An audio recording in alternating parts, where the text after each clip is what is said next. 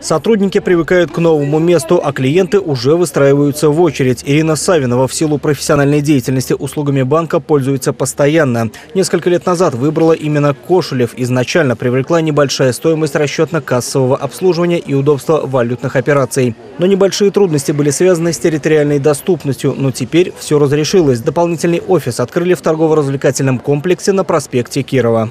Просто ждала, не верила, что он здесь откроется. Во-первых, мне нравится само место. Чувствуется забота клиента с первого шага. То есть это я почувствовала сразу в этом банке. То есть вот персонал, та обстановка, которая здесь есть, и профессиональное обслуживание.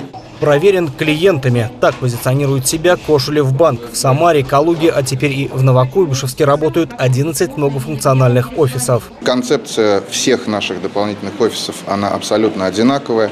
Мы открываем полностью универсальные банковские офисы, которые предоставляют весь спектр банковских услуг, как на рынке юридических лиц, так и на рынке банковских услуг для физических лиц. А, любой человек, пришедший в любой наш дополнительный офис, может получить любую банковскую услугу, о которой только он пожелает.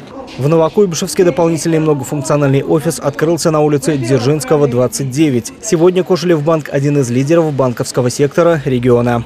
Павел Баймаков, Станислав Левин. События.